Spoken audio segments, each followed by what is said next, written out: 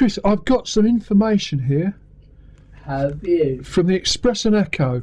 Oh, Page three is really very sad news.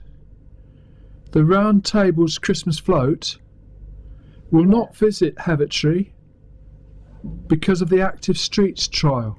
okay. Can't get there. Yeah. Parts of Whipton it will get to, Wonford it can get to, but it's not going to Heavitree. Oh, have you all gone to the Heavitree Street? Mm. No, I, I haven't I haven't seen it myself. I don't remember it.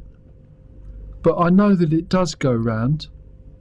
Yeah. But I think this is one of the this is one of the problems that all, with all the um, bus gates and blockages, the actual connections in in the neighbourhood. If you think of it as a neighbourhood, it is all very difficult.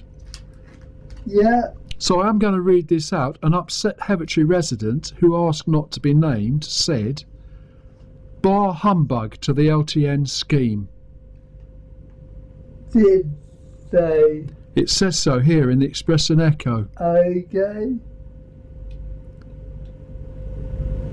I thought you were reading the whole thing. out. Well, I could read. Um, well, I don't. It depends when you've got the next track ready. Uh, essentially. Not, right. now. Well, right. It's so disappointing that the blocks and bus gates in Heavitree and Whipton Barton have led to no visit from the Round Table Santa this year.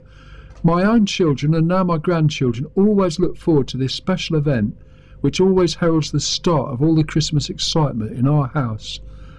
I hope the charity doesn't suffer financially by these restrictions. Well, it says bar humbugs. Sorry, I read it out wrong. Bar humbugs to the LTN scheme. You just stop me, Chris, when you think uh, you're ready for the next some more music. It's going to be in Broadfields and Digby on December the 4th, Beacon Heath and Whipton on Thursday the 14th, Wonford and St Loyes on the 5th, Pinhoe and West Clyst on the 7th, and Lower St Thomas on Tuesday the 12th, Higher St Thomas on December the 6th. but not heavy. Not Heavitree. Because um, realistically, Hev- So we'll come visit Santa.